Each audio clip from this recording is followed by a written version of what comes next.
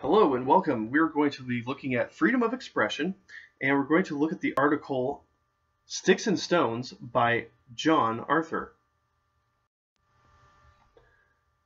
Overview of what we want to accomplish in this lecture. First, there's going to be a brief explanation of the value of freedom of speech and its application. So just kind of like explain the ins and outs of the constitutional protection of speech. Arthur gives a distinction between wronging someone and harming someone, as well as a distinction between two different kinds of harm, an individual harm and a cumulative harm. Arthur then assesses arguments in favor of censoring hate speech, but nevertheless gives an argument against censorship of hate speech, arguing that it is unwarranted. So we're going to look at each of these five items. So the importance of freedom of speech.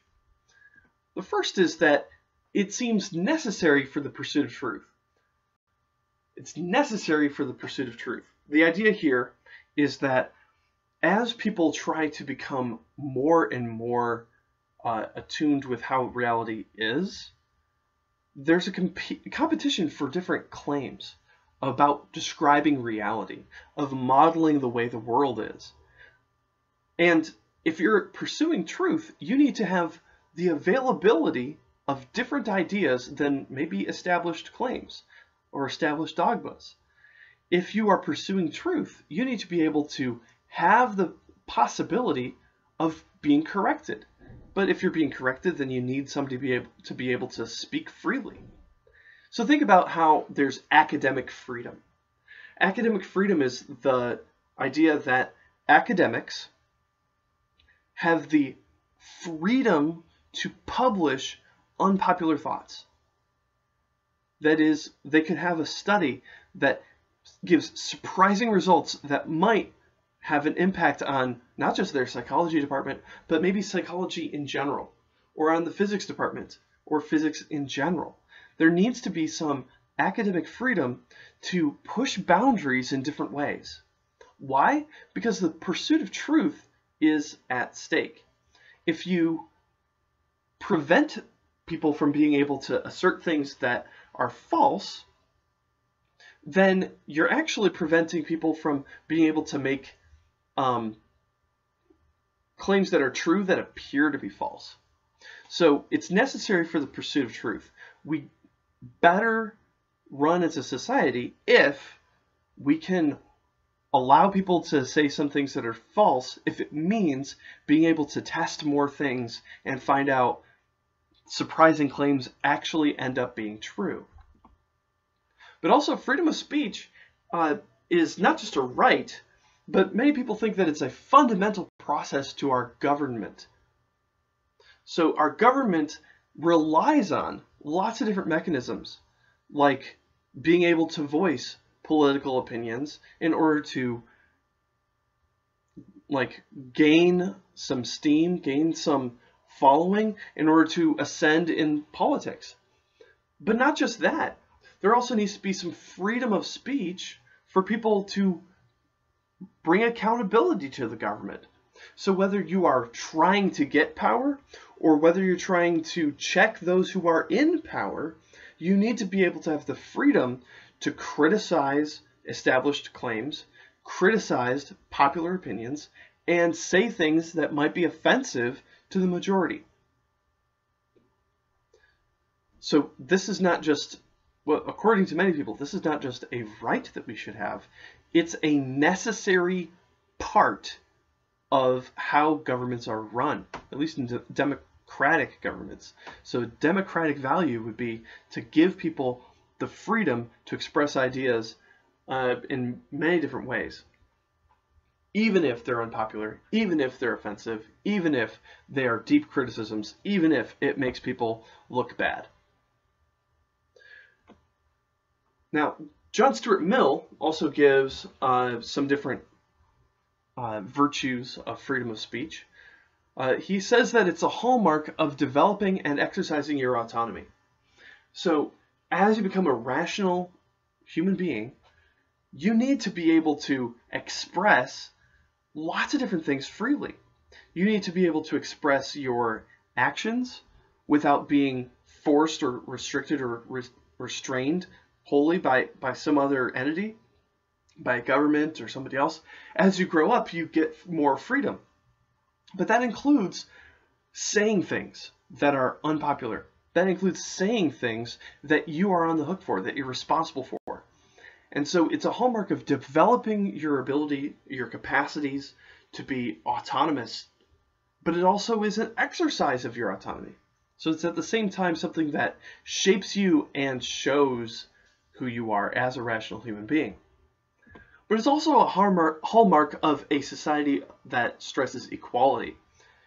That is, when you respect other people's autonomy, you got to respect their exercise of freedom of speech, as well as many other different expressions.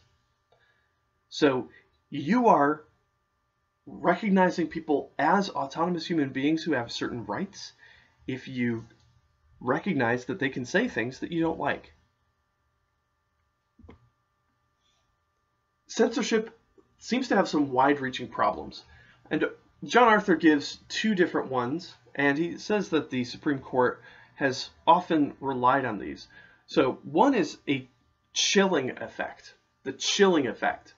So a chilling effect is basically that um, one action causes many, many other things to freeze or halt um, so that the behavior doesn't really continue. But the idea here is that if you regulate speech, it regulates far more than intended.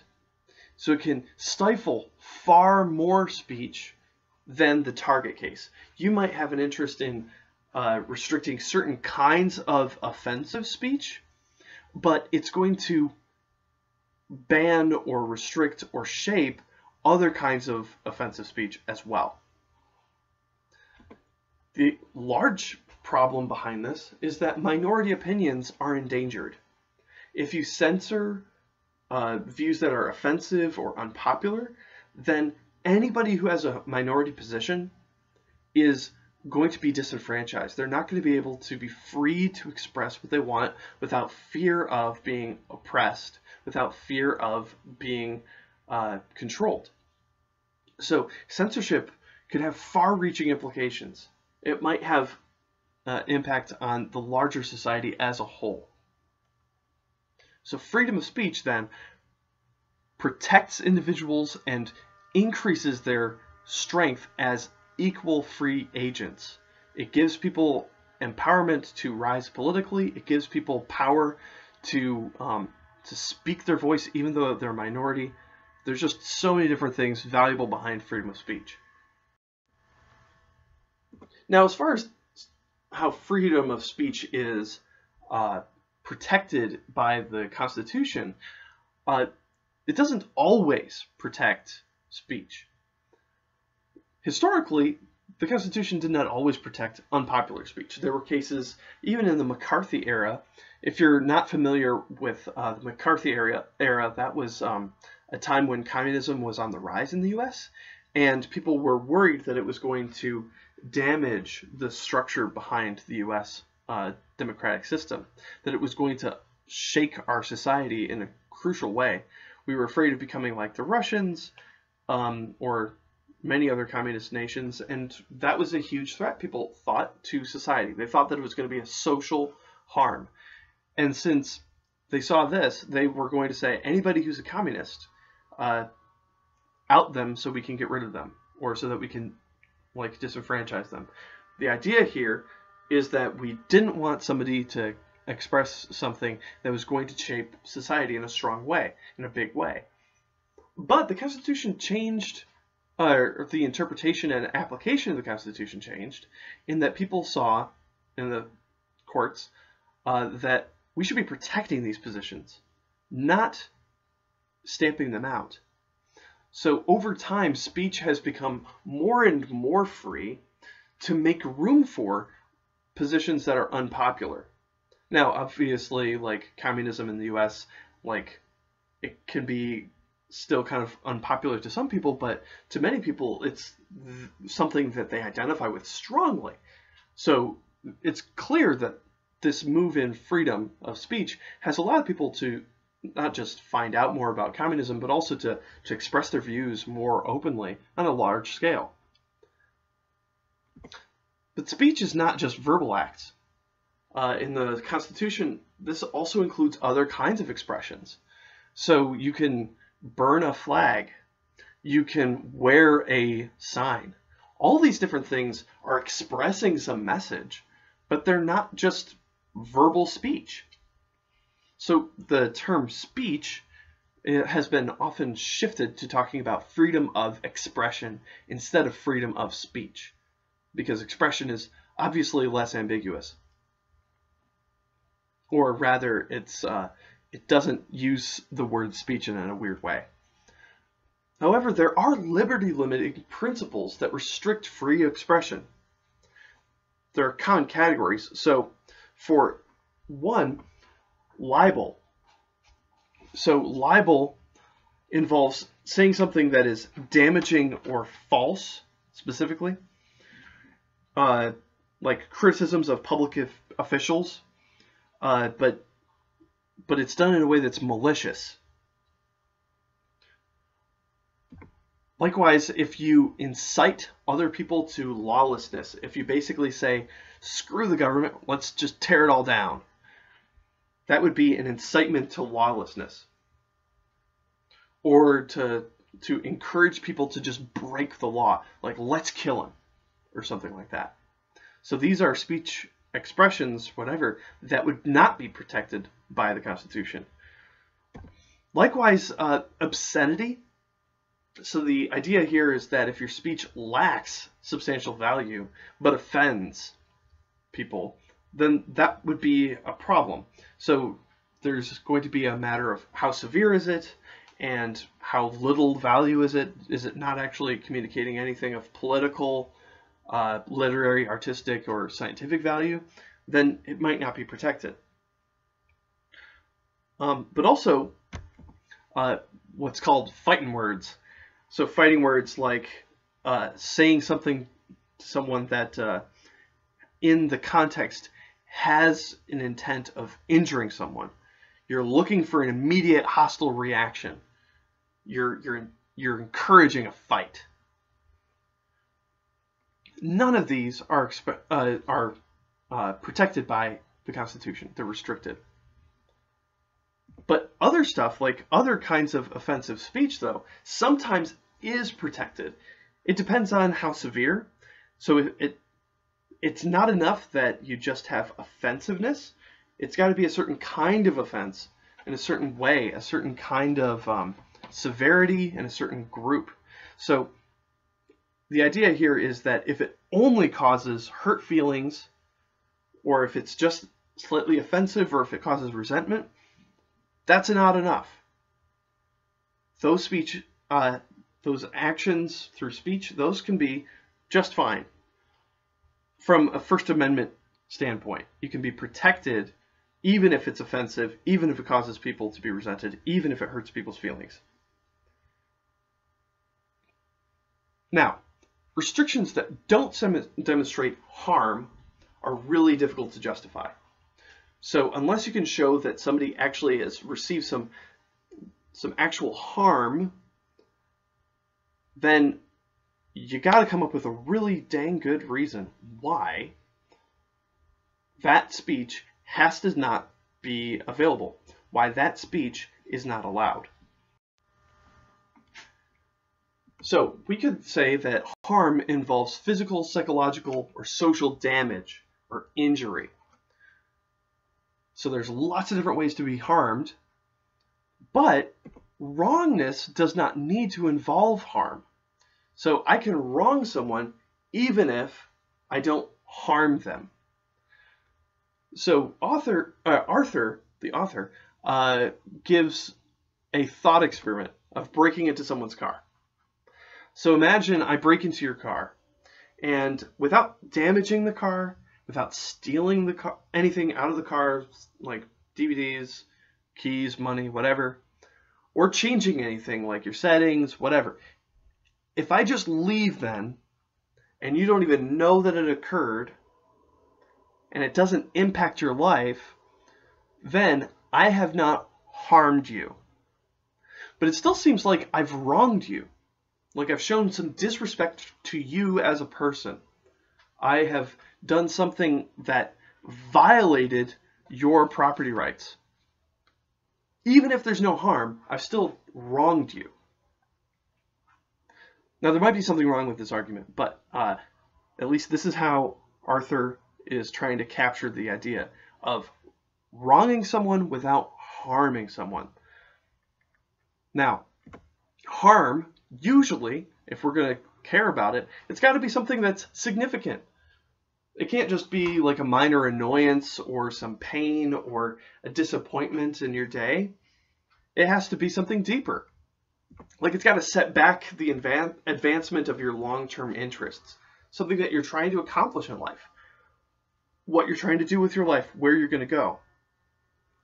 But it can't just be a setback like a mere disappointment. It's got to do something else. It's got to have like an ongoing concern, like something that you must resolve. So these kinds of harms are what are in view for protecting or for uh, restricting freedom of speech. Now, Arthur tries to give a distinction between individual and cumulative harm. So, of course, individual actions can harm. And this is primarily what was in view in the prior discussion. There's lots of different ways I could harm you. However, individual actions can contribute to uh, cumulative harm. So the idea here is that there's a larger effect than just what that individual thing does. So an individual action may not by itself be harmful. It might not do any harm to you alone. It might be harmless. But in the context of all these other actions of a similar kind, it might actually contribute to cumulative harm. So you think of it as the straw that breaks the camel's back. So straw is not going to break a camel's back. But if you load up plenty of straw on a camel's back, you could break the camel's back with enough straw.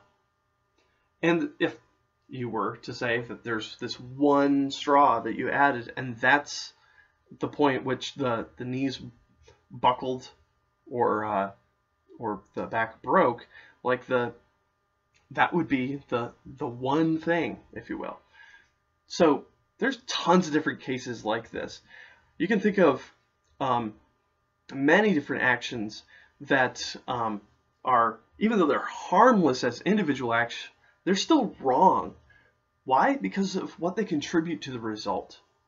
Small little transactions that have big impact on the whole like Depeche Mode's uh, Everything Counts in Large Amounts.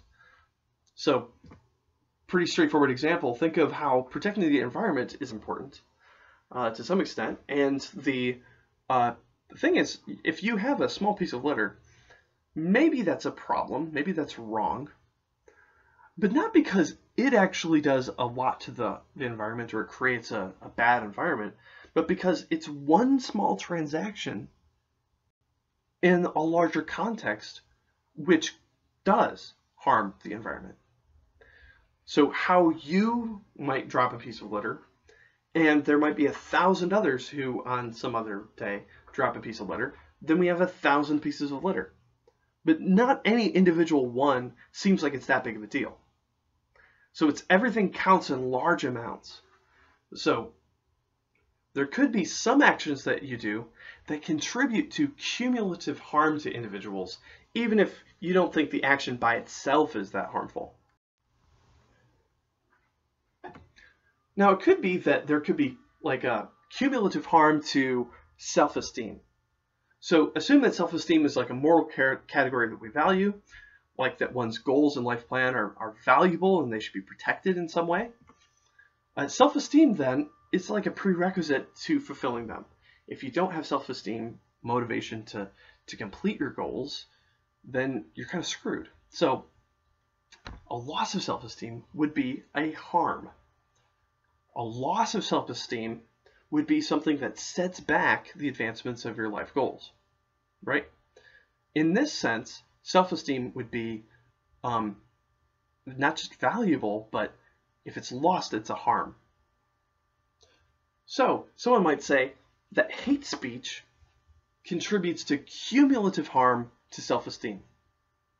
So hate speech by itself might not contribute like significant harm, but it might have a cumulative effect. There's all these little transactions that people have between people where there's just a little bit of a just something off racially or sexist or whatever and over time it has a cumulative effect it creates a, a general feeling about society and a general feeling about yourself that impairs your esteem uh, of yourself and impairs your ability to fulfill your goals. In that sense, it would be a harm. So Arthur says if this strategy has merit, then, then hate speech by itself is not harmful. It would not just be an individual harm, it would be a contributor to a cumulative harm. So in this case, you're looking at many, many, many other actions uh, of hate speeches that together create a cumulative harm. However, Arthur argues that self-esteem is kind of like a weak and vague notion here, like what actually is self-esteem and when is it damaged, how is it damaged. Uh, so it seems like it's hard to show what contributes to its loss, such that it would be actually identified as a harm or a contributor to a harm. So self-esteem, it's it's not clear when you have self-esteem, when you don't. Um, there are cases where if you lose self-esteem or if you have diminished self-esteem, uh, it's hard to see when that change has occurred. So it's also hard to recognize when some specific event actually contributed to that, when there was a loss of self-esteem. So if you, it's hard to see what is the cause of loss of self-esteem. So it's hard to identify what is creating this harm.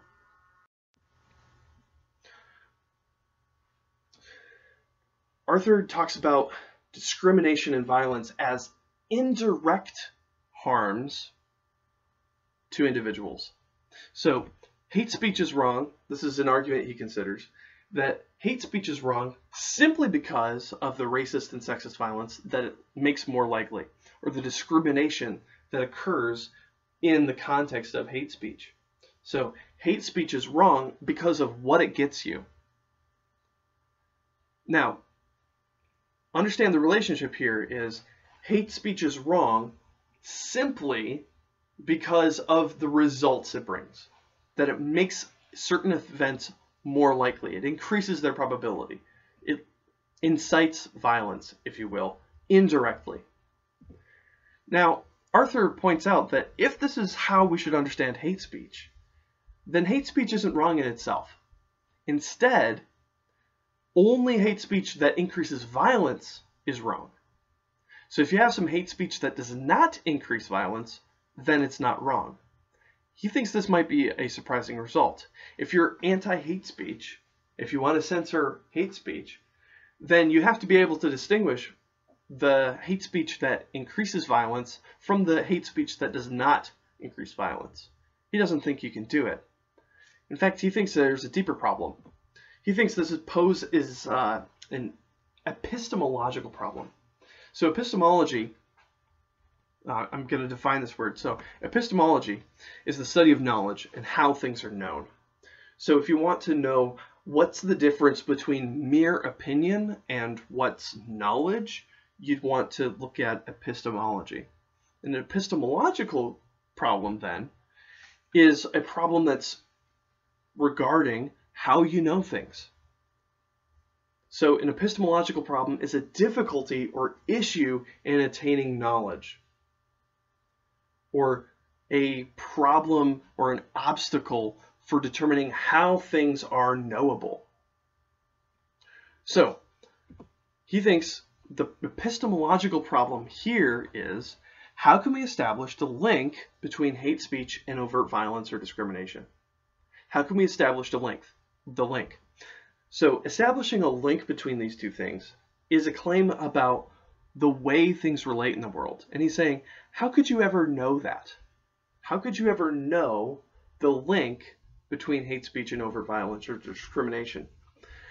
You could look at how one increases the likelihood of the other, right? That if there's hate speech, it's more likely that there's violence, and it's also true that if there's violence, it's also likely that there's hate speech.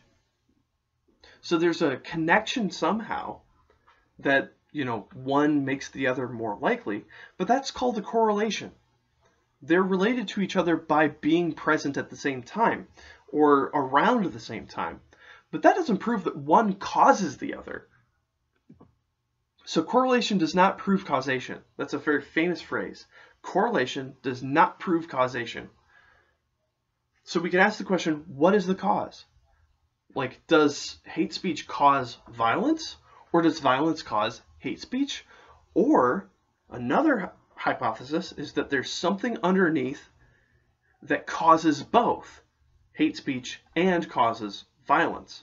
So the idea here is if you care about like reducing causes, like if you're reducing effects by managing causes, then he's going to say, hey, just because they are related to one another doesn't mean that you know which one's caused. So if you know that, or if you believe that violence is an effect and you believe that hate speech is a cause, that assumes that you recognized which one's the cause so that you know which one to prevent.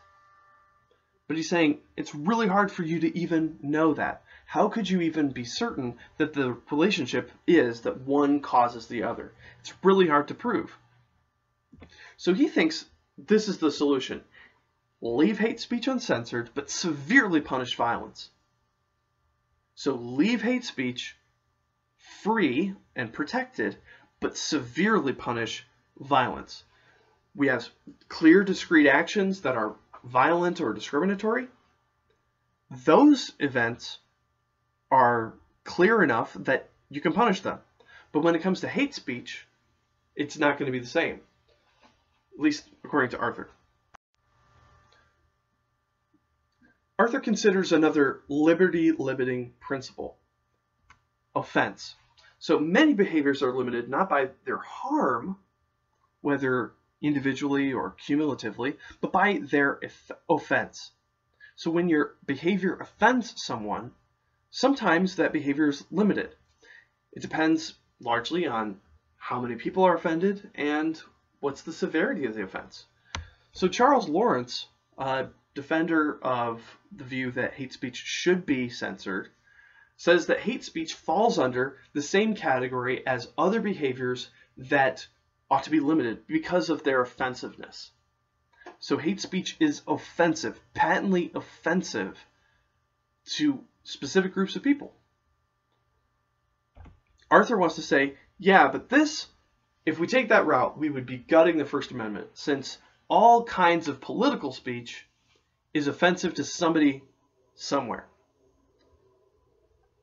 So you want the First Amendment, you need to be able to protect some kinds of offensiveness. You need to protect some kinds of views that are going to be both political and offensive. So Arthur thinks that if we make hate speech something that we restrict, then we're actually getting rid of the First Amendment's strength. Arthur considers another view that hate speech is not just communication. It's also an action. It's a behavior as well. So in this sense, it's a speech act.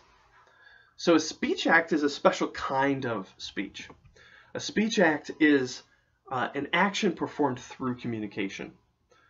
So often we think of sentences as being like true or false, like claiming something about the world, uh, but there are some kinds of sentences that aren't making claims about the world, like questions or commands, right? So when I ask you a question like, where are you going for lunch? And you tell me Chipotle. Like, my question isn't true or false. Um, so it's doing something different than what you're doing when you respond. When you respond, you're trying to describe the world. Uh, if I say, hey, go get me a burrito, I'm not saying something true or false. I'm trying to get you to do something. I'm urging you to do something. However, there's certain kinds of actions, speech actions, that are shaping the world.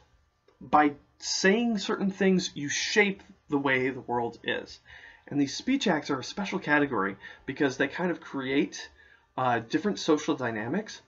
So this is a special category, and I know this is like this is a difficult concept to many, but it's actually pretty common. So think about a priest uh, who marries two individuals. If before that priest is a man and a woman and they have made vows, the priest can then say, I now pronounce you husband and wife. At that very moment, the world has changed. These two individuals are no longer single, they're now married. They're no longer like separate entities, but rather treated now as a unit. And so in this speech, I now pronounce you blah, blah, blah, they become blah, blah, blah. They become husband and wife. They weren't husband and wife prior to the priest saying so. But also, like, you can create uh, the way the world is in, in a unique way when you make promises. If you say, like, hey, I promise, like, I'll give you this uh, this book tomorrow, or whatever, um, you created an obligation on yourself. You shaped the way the world is. Now somebody has a right over you to get that book. They would have like reason to believe that you've wronged them if you fail to give them that book. You shape the way the world is through your speech by saying, I promise, blah. But also, you could curse someone by saying, like, uh, may you go to hell. Like that, you're you're calling down condemnation on that individual. You are saying more than just I don't like you. It's a may the world go so terribly that you are in hell. Or may you actually end up there. So, there's lots of different kinds of speech acts that people perform, and these are not uncommon. But they're a specific kind of action. It's communicated in the speech. It can't be done without speech. So, hate speech is a speech act. On this view, hate speech is an action of subordination or subjugation. If somebody says something like, um, gosh, like, uh, I, gosh, I'm not gonna, I'm not gonna risk saying something super offensive, but like in certain hate speech, you could be uttering claims that look like they're intended to be true or false, but what they're really trying to do, what they're really having as a result, is something like putting people down, or dominating them, or pretending like they're not fully human. And those kinds of actions are subjugation or subordination more than they are anything else like describing the way the world is. They're trying to shape the world. They're trying to put you in a certain place. Now, if hate speech is a speech act, then it's a behavior that we could um, limit just like other behaviors that we limit. Arthur thinks that this doesn't make hate speech special. Why? Because there are other expressions that we consider actions that send political messages that are offensive to people. And yet they're still protected. So burning a flag burning a flag is protected by the First Amendment, even though it's obviously symbolic of a very offensive message. It obviously offends great many people, but it's still protected. And that action sends that message. It has an expression of an idea, of a certain sentiment. But even though it's offensive and it's an action, that doesn't mean that it's restricted. Just so, Arthur says, hate speech is going to be sending a message and it's an action, but that doesn't mean that it's automatically going to be restricted. It's it could be protected as well. So Arthur concludes by saying that having a legal right does not mean that any expression of that right is morally appropriate. So having a legal right to do something doesn't mean you should be doing that thing. Instead, you can abuse your rights. You can use your rights in the wrong way. You can be entitled to do something that is uh, just a complete waste of power. Hate speech is one such abuse. So he's going to say, yeah, hate speech is wrong. It's definitely wrong. But it's within your rights to do so. It's within your rights to have hate speech, but that doesn't mean that it's okay. So having a right to do something doesn't mean it's right to do. Having a legal right does not mean it's morally right. And that also just means that just because something is unethical or morally wrong, that we automatically need to start legislating it. Just because something is moral doesn't mean it's legal. Just because it's immoral does not mean it's illegal. There's a legal moral distinction. So, on the flip side, you can think about how every freedom comes at a certain cost. Someone has to tolerate your freedoms. For you to be able to express it, other people must not restrict it. So he gives some examples. Uh, this might sound interesting. Uh, he says if somebody is free to pursue homosexual relationships, that's obviously going to offend some people in a great way and distress them. But freedom of speech, he thinks, is no different. Just because you're distressed at what someone says does not mean you get to tell others to stop. And this is the crucial part by using government's force.